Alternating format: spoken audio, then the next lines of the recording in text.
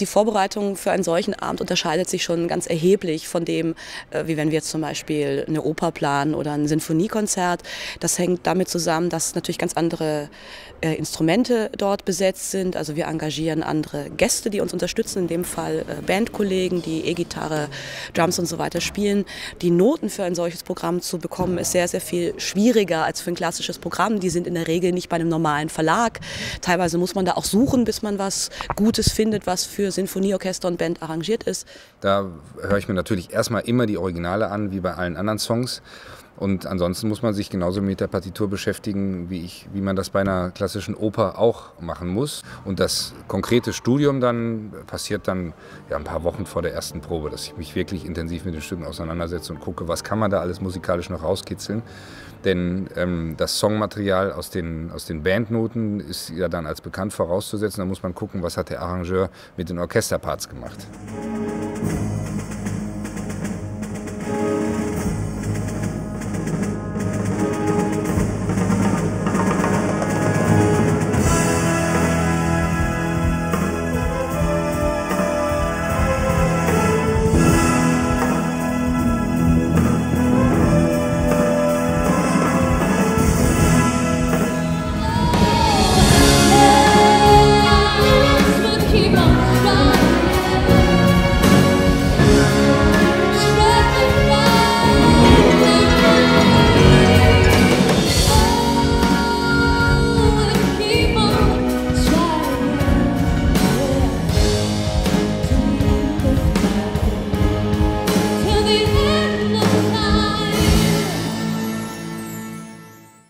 Mit Rasmus Baumann haben wir zum ersten Mal bei Queen die Mikrofone direkt an die Instrumente gebracht. Früher war es halt, dass man die als Overhead über den Instrumenten hatte.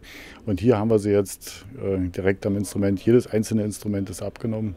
Es muss gut und durchsichtig klingen und es muss hier bei Queen vor allen Dingen äh, sein, weil es ja Symphonic Rock ist, dass nicht nur die Band gut klingt, sondern auch, dass das Orchester, was ja auf der Bühne nun mal auch schön zu sehen ist, dass das ebenso gut klingt wie die Band. Und das muss dann einfach angehoben werden, weil die Band einfach lauter ist. Und so ein Opernabend ist was ganz anderes. Und bei Queen ist es dann das ganz große Konzert.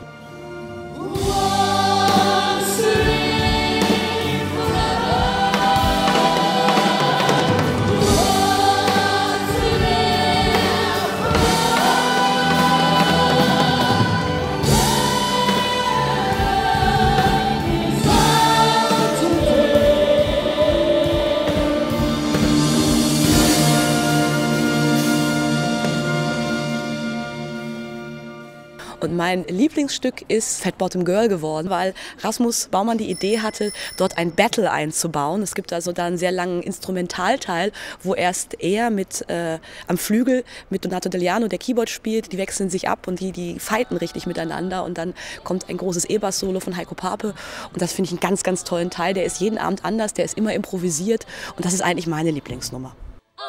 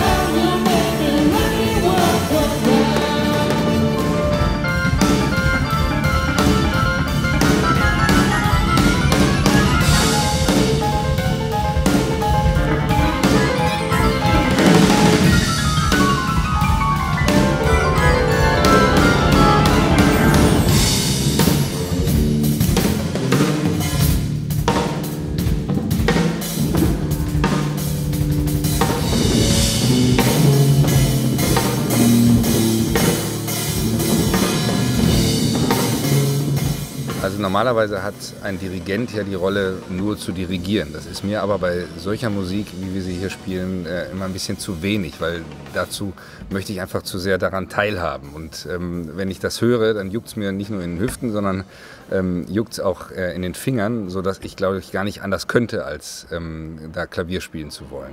Der Kontakt zu den Sängern ist äh, nicht anders als eigentlich in der Oper auch. außer dass der eigentliche Dirigent der Drummer ist, sagen wir so. Ich muss natürlich immer das alles so im Blick haben und den Laden anwerfen ähm, durch optische Zeichen, aber letztendlich das Tempo ähm, halten, das passiert hauptsächlich durch das Drumset. Das heißt also, ich versuche nur mit dem akustischen Schlagzeugspiel ein 60-Mann-Orchester zu leiten, plus Sänger und ähnliches. Ganz wichtig ist, dass man nicht zu laut spielen darf. Es muss laut aussehen, darf aber nicht laut klingen, weil natürlich alle Streichinstrumente mit kleinen Pickup-Mikrofonen versehen sind. Ich versuche möglichst leise, mit, aber mit sehr viel Energie das Orchester zu pushen oder auch da zu halten.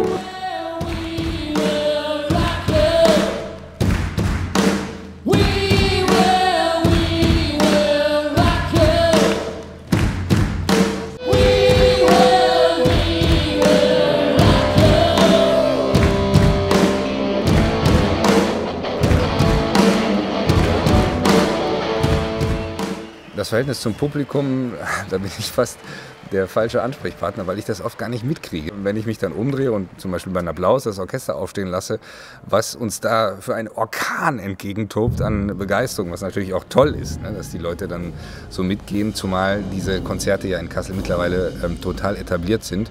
Und ähm, ich liebe das Kasseler Publikum dafür, dass die bei jeder Show mitgehen, als wäre es die letzte im Zeitalter der Musikgeschichte.